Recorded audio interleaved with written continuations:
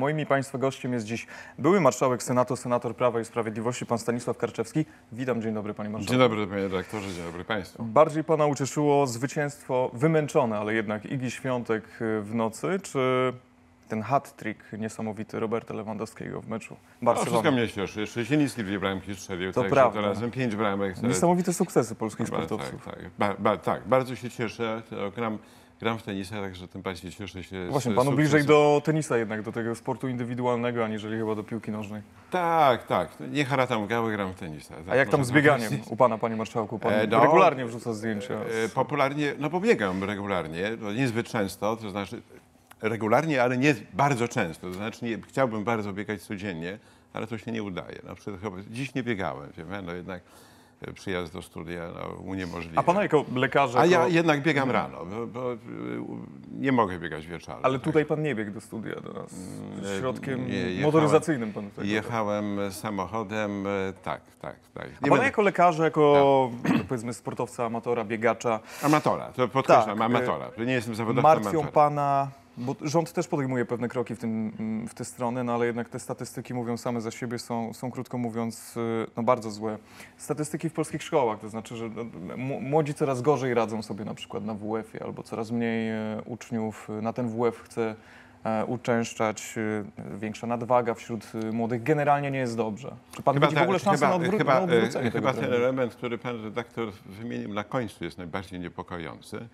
Dlatego, że ja obserwuję coraz e, większą, co- coraz większą ilość młodych ludzi z nadwagą. To jest bardzo niepokojące. No, fast foody, chipsy, e, no, również i pandemia wpłynęła, ta izolacja, prawda, e, wpłynęła z pewnością na to. Latem widziałem bardzo wiele, no niestety, nie, znaczy niestety, no, nie tylko dzieci, młodzież, ale w ogóle sporo. Tak, idziemy w kierunku Ameryki, no ale tak nie tej, którą powinniśmy iść. Sporo osób ma nadwagę. Bardzo zachęcam do tego, żeby jednak dbać o, o, o zdrowie, o swoje zdrowie, bo bardzo dużo zależy od, e, od tego, jak my dbamy, jak my zabiegamy o zdrowie, jak się odbi- o, odżywiamy. A bieganie w smogu, no bo ten smog się wkrótce Ale pojawi. pan- Niestety to jest bezpieczne? Nie, Czy- lepiej nie biegać. Jak jest duże zanieczyszczenie, lepiej nie biegać. Absolutnie. Ja mieszkam na wsi i, i wyjeżdżam poza e, wieś, żeby pobiegać, jak jest e, sezon grzewczy jest, i, i czuję e, ten smog, czuję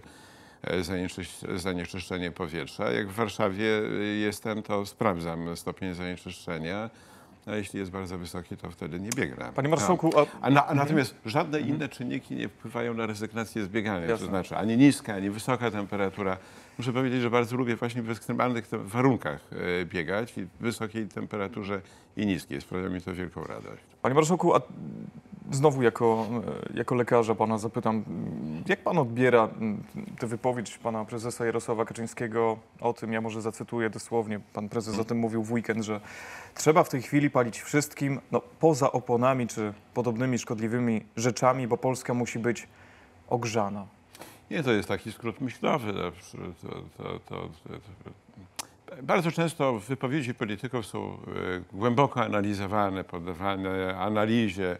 E, No mamy trudny sezon przed sobą. No przecież to nie, nie oszukujmy Właśnie się. ja nie chcę niczego Mamy, absolutnie w- nie, nie oszukujmy się, mamy, ale- Mhm. trudny, mamy trudną zimę przed sobą. Nie dość tego, to jeszcze meteorolodzy za, zapowiadają, że być może, no też nie ma pewności stuprocentowej, ale zima, podobnie jak lato, bo lato było bardzo ciepłe, to więc w przeciwieństwie do, do, do tego może być e, e, sroga i mroźna zima. No, więc e, no, to trudny okres dla nas wszystkich. No, Ja rozumiem, ale jak zrozumieć prezesa Kaczyńskiego e, w tym kontekście właśnie? No bo na przykład aktywiści z, czy pracownicy e, z instytucji, jakim jest Polski Alarm Smogowy, no twierdzą, że ta wypowiedź jest wręcz skandaliczna, bo ją można odebrać tak, że możemy E, wszystko do tego pieca Nie, wrzucać. absolutnie nie wszystko. No, oprócz tych opon nie, no, ale to jest skrót myślowy. Mówimy o wszystkim. No, to mówimy o miale, mówimy o e, brykiecie, myślimy o pelecie, o- myślimy o o, tych drewnie. opałach, które są Wie pan, ja absolutnie myślę, ja, przeznaczone do tego. a- Absolutnie. No, no, te, które są ujęte w Jasne. e, tej ustawie, która dokładnie precyzuje, jakie będą dokłady, do, dopłaty e, dla jakiego rodzaju e, nośnika energii. Jest tam Mhm. drewno, prawda, czyli kominki, no też, no nie wycofujmy się, no jest to, prawda, zanieczyszczenie, no ale, ale, ale no, ja sam palę drewnem trochę w swoim domu, chociaż mam też fotowoltaikę No i w dużej, wspomniał pan, w panie dużej marszałku, pan części. mieszka, e, pan mieszka na wsi. Czy, czy, czy wśród pana sąsiadów, e, ludzi, którzy mieszkają w pańskich e, okolicach, jest ten problem z e, nabyciem węgla? Bo my oglądamy te obrazki E, w tak, telewizjach, to, w ale to mediach. bardzo, bardzo, bardzo ludzi w kolejkach tak Dokładnie dalej. e, przedwczoraj miałem bardzo duże spotkanie z, e, w moim okręgu wyborczym mieszka e, pani minister Anna Moskwa i to pytanie zadała siedzącym ludziom. No ja nie kupuję węgla, mam gaz, gaz już e, mam pełną butlę, e, mam zdywersyfikowany, można powiedzieć, e, sposób ogrzewania domu. Korzystam z- różnych źródeł w różnym stopniu i to e, uzależniam od e, temperatury i czasami tylko lekko e, energią elektryczną podgrzewał. Ale to nieistotne. Padło ze strony pani minister, mieliśmy bardzo ciekawą, interesującą rozmowę, takie pytanie i ludzie zorientowani, ja nie jestem zorientowany, no w tej chwili nie byłem na targach, nie. mówią, że jest. Pan, kt- który dokładnie wyjaśnił, że e, ten węgiel akurat w tej okolicy, w której ja jestem, wynika to najprawdopodobniej z tego, że to też z kolei następny e, e, mówca e, powiedział, że bardzo dużo osób, to jest teren sadowniczy, pali drewnem. Po wycięciu bardzo dobre i dobrze pali się drewno Ale jednak w innych regionach e, Ale- sporo pali się węglem. Ten węgiel nie Tak, jest a- gorszej e, ale- jakości, ale jest, jak jest. się mówi. To znaczy- jest, ale jest bardzo drogi. Jest, e, tak, pytaliśmy się o cenę. Były około 2,5 tysiąca za tonę. Takie ceny e, e, mówiono o. Ja mówię o Grójcu i okolicach Grójca. W niektórych innych Ja nie miejscach mówię- to jest ja kilka nie- tysięcy. ja I się nie- tak zastanawiam, panie marszałku, czy zasadne były słowa rzecznika rządu, z, e, zdaje się, z czerwca, kiedy mówił o tym, żeby no, nie kupować teraz na siłę tego węgla, on będzie taniał. No, okazuje się, że on nie jest tańszy. Ale wie pan, ale to była dobra e, i chyba dobra rada, bo jednak no, sprowadzamy dużo węgla. Te, te, te, te dostawy, też pani minister Anna Moskwa o tym mówiła, że już jest e, duża część zamówionego, zakontraktowanego węgla w Polsce. Teraz jest próba rozwiezienia tego węgla po, po Polsce i, i, i no, jeszcze mamy troszeczkę czasu. I, mm, czy dobra, czy zła. Ja myślę, że, że czasami można się wstrzymać, czasami można no, przeanalizować tą sytuację istniejącą i no, nie podejmować Czyli co, zbyt nikt, nikt gwałtownych nie ruchów. zmarznie w tę zimę w domu, rzecz jasna. Ja, my, ja e, wie pan, nie chcę, e, bo znowu będzie mo, moja wypowiedź jakoś analizowana, prawda? Ale ja e, wierzę głęboko to, że będzie Polska zabezpieczona w odpowiednim stopniu w nośniki energii. Myślę, bo myślimy głównie o węglu. Gaz mamy, prawda? No, tutaj mamy pełną gwarancję. Tutaj pani minister Moskwa i premier mówi, że mamy gaz, że nie mamy się o co martwić. E, E, mm, Jeśli chodzi o węgiel, bo tutaj są pewne wątpliwości, no ja też jestem optymistą. No z tych słów, e, które p- płynęły z, z ust e, ministrów i ministra e, e, Adamczyka, który też prawda, z racji e, sprawowania nadzoru nad e, no, transportem też mówi o tym, że, że Mniej optymistyczni, mm, panie marszałku, ja są... jestem w ogóle urodzonym optymistą. Ja rozumiem. Jestem i to je, jestem. No tak, prezes Kaczyński też wczoraj powiedział na forum w Karpaczu, że jest e, wesoły z natury, ale mniej... Ale to prawda, mniej- wie pan, mniej- ale mniej- wie pan co, ja to akurat czytałem, no nie słyszałem tej wypowiedzi, ale dziś rano przejrzałem prasę i tak dosyć wnikliwie i słyszę, tak, przeczytałem również tę wypowiedź. Ja się ja, mogę, ja mogę tylko potwierdzić, że pan prezes jest e, człowiekiem e, no, bardzo radosnym i e, człowiekiem, e, który ma niezwykłe poczucie humoru, czego Chociaż w e, tych nie czasach trudno Ale ja nie mówię, prawda? ja, ja Jasne, mówię jasne, w ogóle oczywiście. o naturze. Tak, tak, no, tak, przecież tak. oczywiście, że no, nasz nastrój jest uzależniony od sytuacji. No, z wielką troską podchodzimy do, e, do, do... No dobrze, do, te nastroje są Dlatego. No generalnie kiepskie. No, nie, nie, ma tylu optymistów w Komisji Europejskiej choćby, która to poinformowała o tym szefowa komisji, ma plany wprowadzenia obowiązkowego ograniczenia zużycia prądu w godzinach e, szczytu. Czy to pana zdaniem to znaczy jest ja- dobre rozwiązanie? To znaczy być może dobre w pewnych obszarach, natomiast no, e, mm, mnie się bardzo nie podoba taka narracja, prawda, płynąca z e, Brukseli, nakazy, zakazy.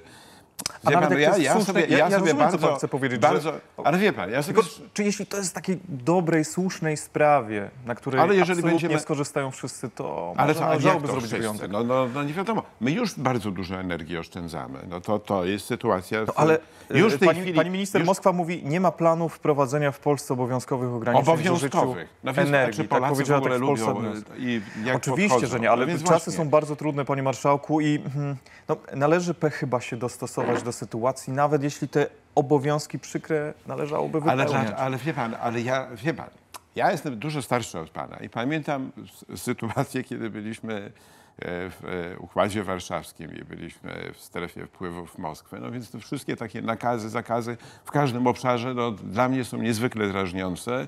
Ja się z tym, jak, ja nie mówię w tej chwili jako to polityk. dobrowolnie ja nie się mówię w Polacy tej, podporządkują Ja nie teraz, mówię jako kraje, polityk. kraje, a to, to inaczej zapytam, bo kraje w jaki zachodnie, sposób mielibyśmy? No co, kraje- wyłączać ale nie, nie, nie, nie. Kraje, kraje, Czy- kraje, kraje no- zachodnie na przykład, y, no nie wiem, czy we Francji, czy w Niemczech są y, pewne takie ograniczenia, że należy zmniejszać nie wiem, y, klimatyzację na przykład, albo nie należy włączać prądu tam w określonych godzinach y, i tak dalej, i tak dalej. Miasta decydują o tym, żeby e, nie oświetlać y, No ale to, ale ja, ja myślę, że Może takie bez rozwiązania na ale ja myślę, że bez takich, ja, panie redaktorze, ja myślę, że bez takich zakazów, bez takich nakazów e, e, będziemy e, to stosować. To jest zupełnie naturalne, że i w sposób indywidualny bę- będziemy oszczędzać.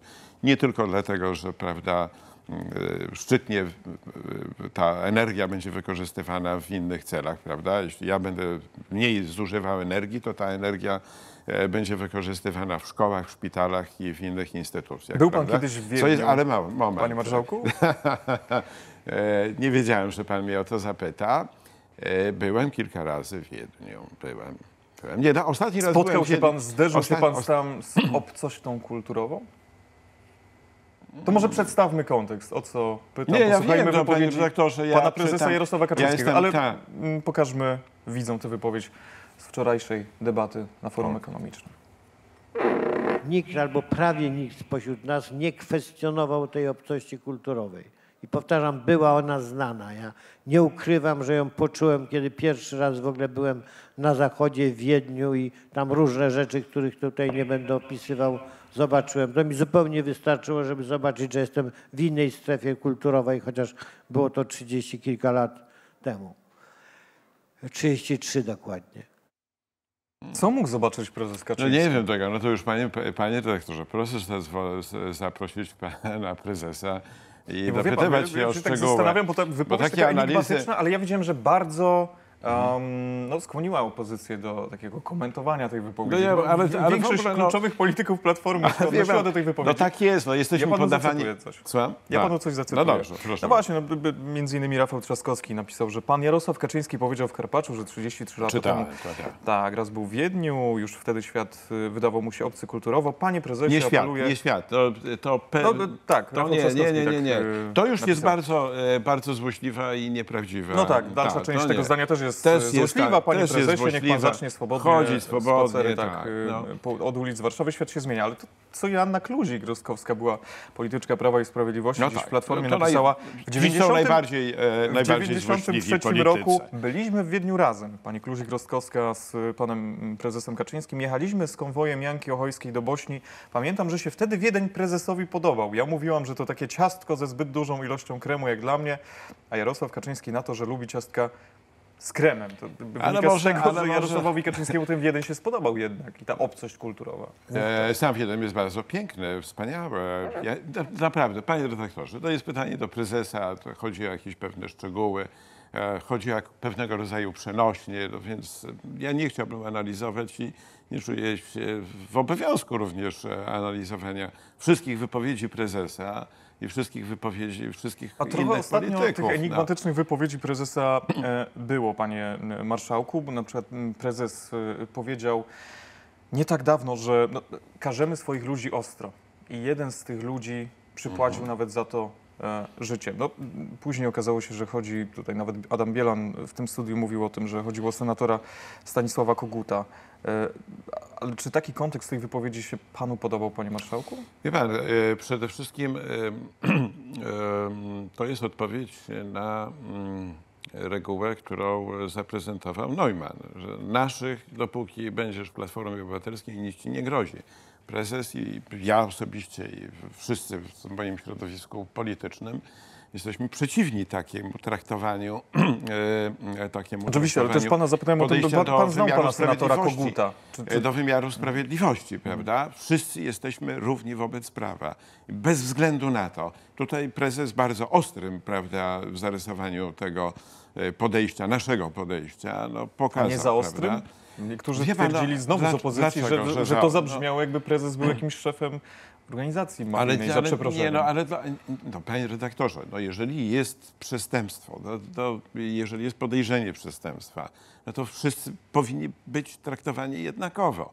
Ja e, bardzo dziwię się panu, bardzo dziwię się panu, bardzo, ja nie, ja nie wiem, ja Rozumiem. nie wiem tego, tylko mówię, że podejście do wymiaru sprawiedliwości. Ja bardzo dziwię się, że pan Tomasz Grodzki nie poddał się weryfikacji. No, kryje się za Boi się? immunitetem. No, no, ja nie wiem co, no boi się. Ale no, chyba ja nie wiem Tomasz czego. Grodzki, ale powinien absolutnie. czuje się pewnie i w ogóle senatorzy, e, jak A to bardzo mówią, się- a jak, bardzo to, jak to mówią, Ta pewność- demokratycznej tak, większości, oczywiście. ale generalnie no, partii opozycyjnej czują się pewnie. Oni się spotkali w ostatni poniedziałek. Nie wiem, czy pan wie, już ustalają sobie szczegóły A, ja wiem e, tym, paktu, paktu senackiego. No właśnie, tak, tak. tak. Jak, jak, pan, jak pan na to patrzy? No, tutaj opozycja się mobilizuje, a Prawo i Sprawiedliwość przecież zależy państwu, żeby Ale w odbić ten zaciszu gabinetów i w zaciszu e, e,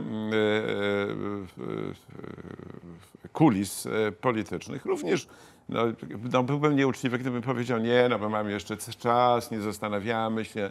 Oczywiście, że się że już pracujemy nad tym, ale też no, nie idziemy do mediów i na ten temat nie Ale rozmawiamy. pracujecie państwo nad ja tym, żeby ten Senat nie odbyć, powiem. No, w oczywiście, że, ależ oczywiście, że tak, że pracujemy.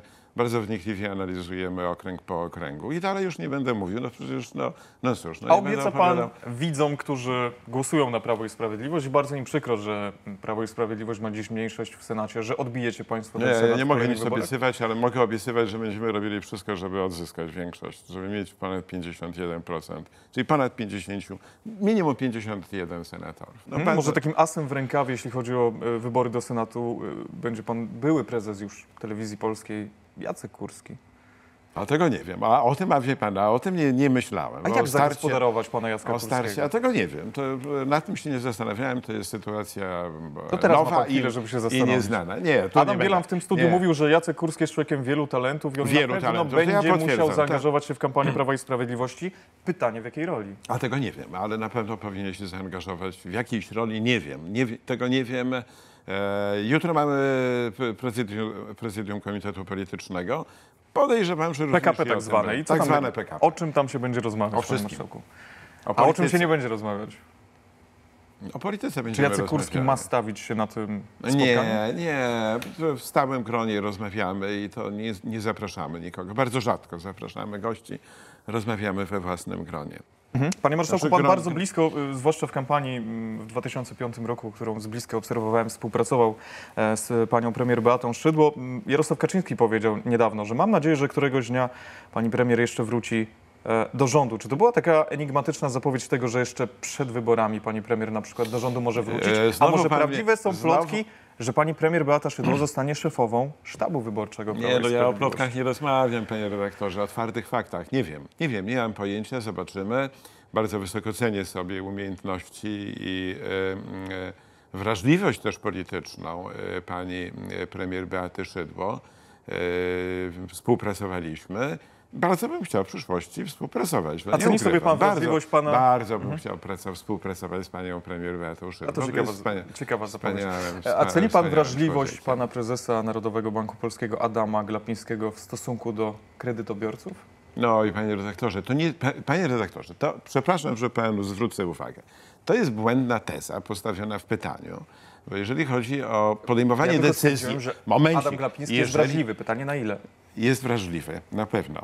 Natomiast e, wszystkie decyzje, jakie są podejmowane, nie są podejmowane przez pana prezesa. No, jest e, Rada Polityki Pieniężnej, do która... A, a na Molo w Sopocie kto podjął decyzję o Nie, podwyżce nie. o 0,25? A, a 0,25, no tak, bo wczoraj 0,25 było. Potwier- tak. potwierdził się ten Potwierdził traktat się. sopocki tak zwany.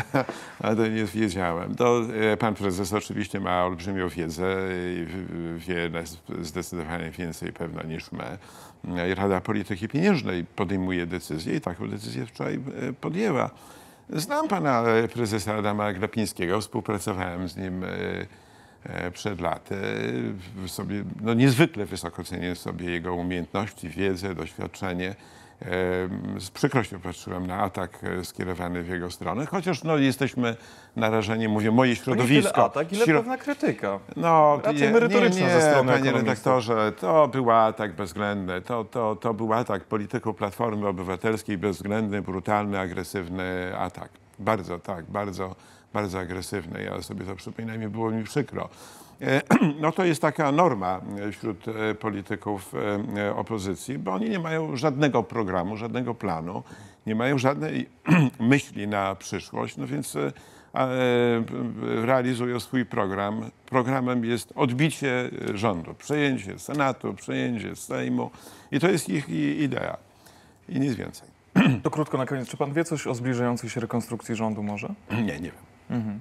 A nie, nie wchodzi pan do rządu, rozumiem, w najbliższym Nie. czasie. Nie ma pan takich Nie, nie, nie, planów. na pewno nie, nie, nie, nie, nie było takiego. Rozumiem. Panie Marszałku, bardzo dziękuję za rozmowę. Dziękuję bardzo. Moim i Państwa gościem był były marszałek Senatu, senator Prawa i Sprawiedliwości, pan Stanisław Karczewski.